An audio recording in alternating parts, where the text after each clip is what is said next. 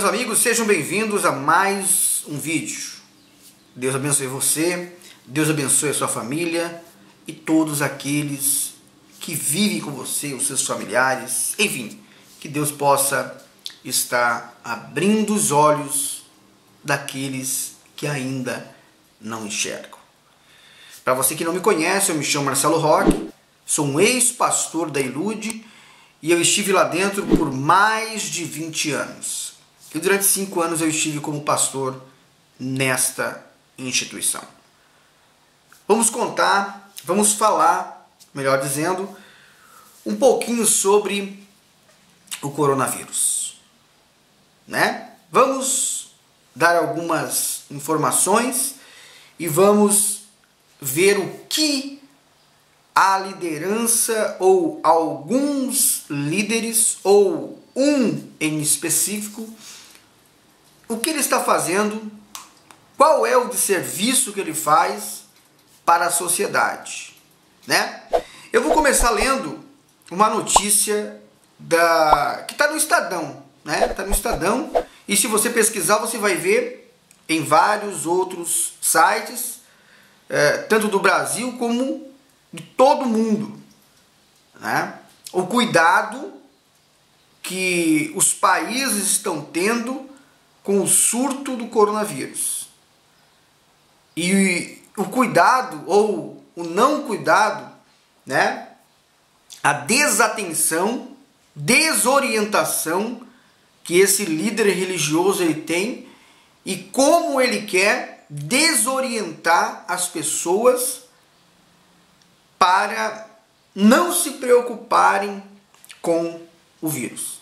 O nosso trabalho aqui não é vir colocar pânico em você e dizer é, para você ficar apavorado, para você ficar desesperado. Não!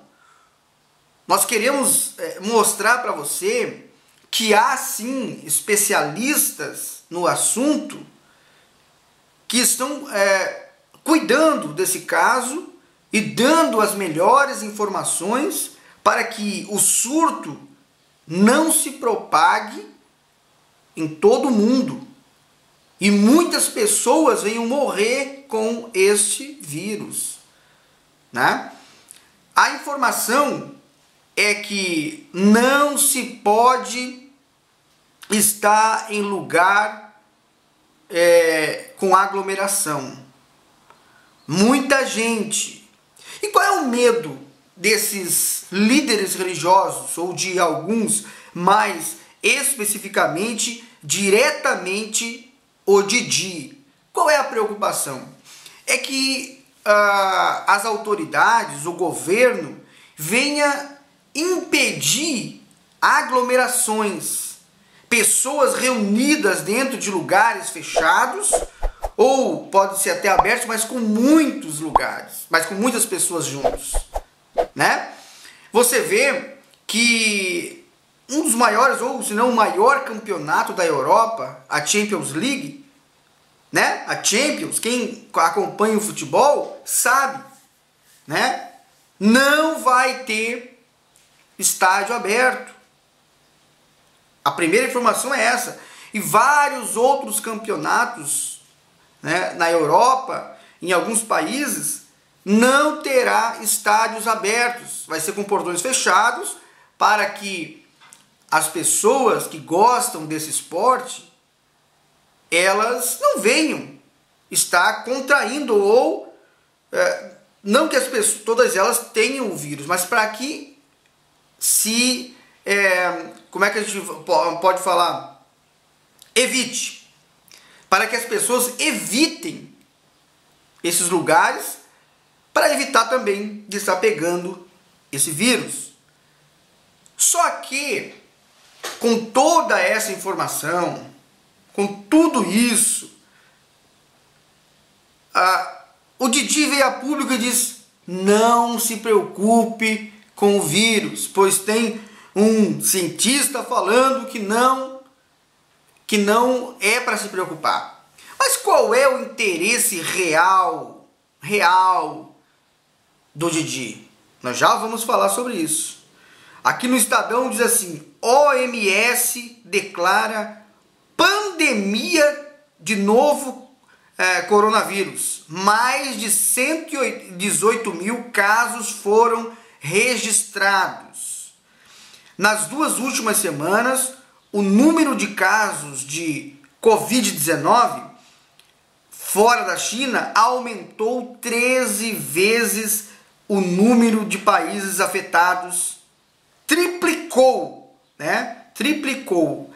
A Organização Mundial de Saúde declarou que rápida expansão do novo coronavírus pelo, pelo mundo já se configura como uma pandemia. Um número foi feito nesta quarta-feira, dia 11, ontem, pelo diretor-geral da entidade, Tedros Adhanom, o outro nome não sei falar. Eu vou deixar o link para vocês aqui, para vocês aqui é, estar vendo a notícia, tá bom? Durante a coletiva de imprensa, nas duas últimas semanas, o número de casos do Covid-19, o coronavírus, né, fora da China, aumentou 13 vezes o número de países afetados e triplicou. Agora são mais de 118 mil casos em 114 países pelo mundo, 4.291 mortos registrados, que foram registrados. Milhares de outras pessoas estão lutando pelas suas vidas em hospitais. Nos próximos dias, esperamos ver o número de casos de Covid-19, o número de mortes e o número de países afetados escalar ainda mais, afirmou. A OMS vinha relutando nos últimos dias em declarar pandemia, com o temor de que isso poderia não só gerar pânico, como poderia ser interpretado como um sinal de que os países poderiam abandonar seus esforços de tentar conter a doença. Optou-se por aumentar o nível de alerta para o risco de transmissão a fim de aumentar o sentimento de urgência entre os países. E também no R7, notícia do R7.com, né? É, essa notícia foi colocada acho que ontem, 11 do 3. Coronavírus, Trump suspende viagens da Europa para os Estados Unidos. O presidente dos Estados Unidos, Donald Trump, anunciou medidas para tentar deter a propagação do coronavírus em, seus, em seu país. A mais drástica é suspender todas as viagens da Europa com extensão do Reino Unido para os Estados Unidos nos próximos 30 dias, incluindo cargas. Aí você vê é, a contradição desse líder religioso, né? No R7 dá notícia sobre o coronavírus, que há preocupação dos presidentes de outros países em é, fazer com que nem carga vá para outros países. Da Europa, sabe que na Europa muitos e muitos colégios já, já deram férias coletivas antecipadas. Muitos colégios, antes de dar férias, tinham parado as suas atividades. A orientação é para evitar a aglomeração de pessoas. Né? Então, uh, o líder religioso vem, e diz que não tem problema, porque tem uma pessoa dizendo que não tem problema. O mundo inteiro dizendo que para ver cuidado com a doença, com o novo vírus.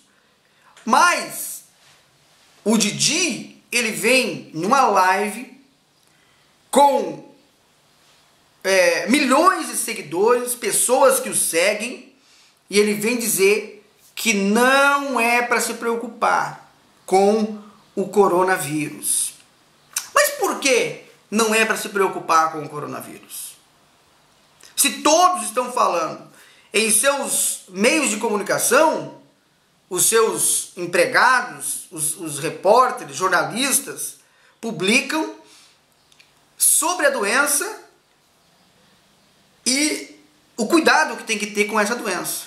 Mas para o seu público religioso, não é para se preocupar. Sabe por que, que não tem problema? Sabe por que o coronavírus não tem problema para o Didi? Porque ele não tem contato com as pessoas. Ele jamais terá contato com as pessoas. Jamais terá contato com as pessoas.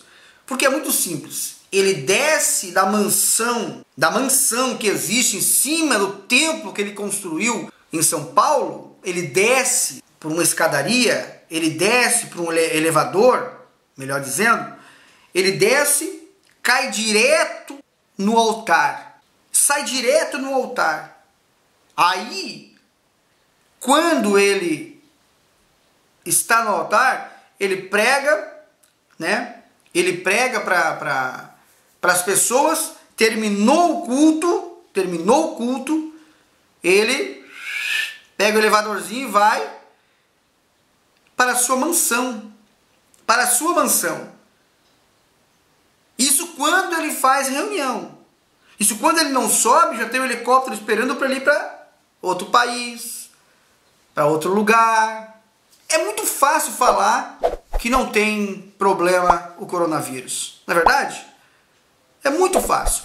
Agora, interessante, você que acompanha as denúncias, não tem problema o coronavírus.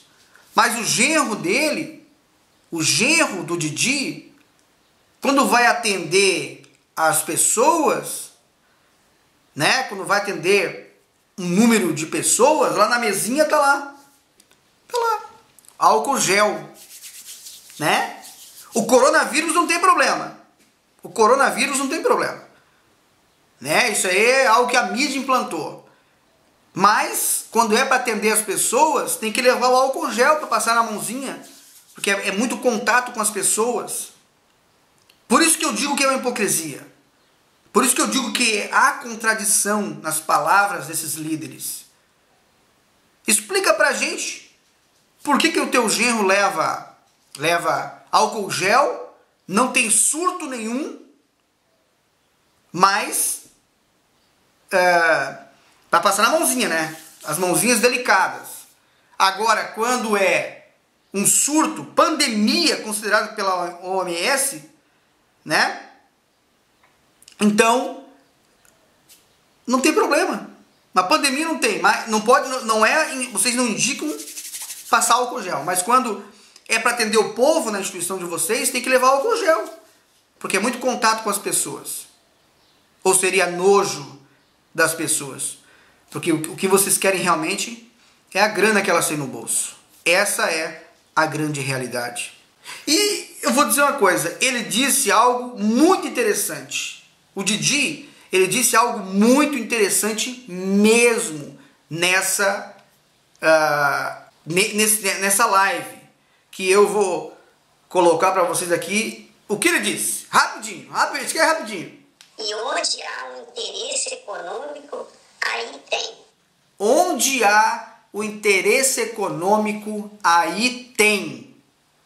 Aí nós vamos chegar. Qual é a intenção do líder religioso da Ilude? A intenção é econômica. É econômica. O mundo está falando que tem que tomar cuidado com o novo vírus. Aí ele vem e tira, né? Tira tudo isso. O que que ele, com um formador de opinião, o que que ele, com responsabilidades que ele tem, né? Com responsabilidades que ele tem, deveria fazer? Vinha público gravar um vídeo e falar, pessoal, evitem aglomerações. Pessoal, Lave as suas mãos sempre. Quando você for para um lugar que tiver muita gente, use o álcool gel. Se possível, use a máscara. Aonde tem muita gente. dá orientações para que essas pessoas não venham pegar o vírus. Não venham. Não venham pegar o vírus. Mas não. Ele vem a público fazer o quê? Dizer que não é para se preocupar com o vírus. Porque tem uma pessoa falando, um médico falando sobre isso. Mas a OMS declarou pandemia. E o Didi disse que não é para se preocupar. Sabe por quê? Porque teve uma cegueira anta e já está tendo outra cegueira anta. Está tendo outra cegueira anta agora. E ele sabe que não pode falar para as pessoas deixarem de irem na instituição, porque as pessoas não vão levar os seus sacrifícios, o seu dinheiro. Ele sabe. Sabemos que há pouco tempo eh, eh, foi comprado, foi, foi inaugurado mais um complexo da, da, da Recópia, né? E tem que pagar os funcionários. São milhões que são investidos. Mas uma doençazinha, o coronavírus, não tem problema, não tem problema. Não tem problema. Né? Agora eu vou fazer um desafio para você, Didi. Não tem problema o coronavírus, não é verdade? Você como um profeta, você como um homem ungido de Deus, você como uma pessoa que é, é que, está cheio da, unção, cheia do Espírito Santo, por que, que você não pega os seus bispos da cúpula aí, né? Pega o, o, o, cabeça de ovo, o, o Bobo Aldo não tá mais, né? Que você mesmo disse que ele andou fazendo coisa errada. Pega o, o, cabeça de ovo, o Clodovil, quem mais? Uh, o Jackson, né? O Jackson do pandeiro, né? Quem mais? o RC, o Juju. Pega todos eles. Ou você vai sozinho. Vai lá para a China, aonde surgiu. Não tem um ditado que diz vamos acabar com o mal pela raiz? Acabar com o mal pela raiz? Pega e vai lá sem máscara, sem nada, não tem problema. O coronavírus não tem problema. O coronavírus não tem problema. Vai lá para a China. Vai lá para a China Tá bom? Vai lá e coloca a mão na cabeça das pessoas e faz a. Você não é um homem de Deus? Você não é um homem ungido pelo Espírito Santo? Você não foi escolhido por Deus para estar na ilude, fazendo a obra do Altíssimo? Pega essa unção, esse poder que existe dentro de você, vai lá e acaba com essa doença. O teu Deus não é poderoso? O teu Deus não é grande mesmo? O coronavírus não tem problema. O coronavírus não tem problema. Né? Vai lá. Ora pelas pessoas lá nos hospitais, cura, cura essas pessoas. Com a unção que o teu Deus te deu. Aí sim, aí sim, nós vamos, ó, bater palmas para você. Aí sim nós vamos vir aqui, ó, ó, o Didi foi lá. Didi é corajoso. Mas sabe por que eu, tô falando? Porque eu sei que você não vai. A tua saúde é debilitada, né? Tua saúde é debilitada. E não tem nada contra, não tem nada. Eu não tô aqui falando. É a tua saúde. Cada um tem a saúde que, né, que Deus permitiu eu ter a tua saúde é debilitada, você já é idoso. E os idosos, ó, tomam cuidado com essa doença. Os idosos tomem cuidado. Então eu sei que você não vai. E eu sei que o teu interesse é econômico. E como você mesmo disse, e onde há um interesse econômico, aí tem. Onde há um interesse econômico, aí tem. Aí tem. E nós sabemos que o interesse da Ilude é meramente econômico. Pessoal, eu termino esse vídeo falando: tomem cuidado. Não é para você ficar alarmado, não é para você ficar desesperado, não. Mas tome cuidado. Use álcool gel, use nas mãos o álcool gel tá? Quando você for lá, for em lugar que tem, bastante pessoas, é, lave as suas mãos, evitem aglomerações, evitem lugares cheios, tá? Eu fiquei sabendo que até o, o Malafaia, até o Malafaia, ele falou para evitar lugares cheios, aglomerações de pessoas, até o Malafaia. Gente, é inacreditável como o interesse econômico ele tira o foco do ser humano. E faz a pessoa só ver dinheiro. E tira o amor que existe pelas pessoas. Deus abençoe sua vida. Continuaremos denunciando a hipocrisia do sistema religioso. Se você não é inscrito no canal, se inscreva. Se você ainda não ativou as notificações, ative. Um forte abraço e até o próximo vídeo.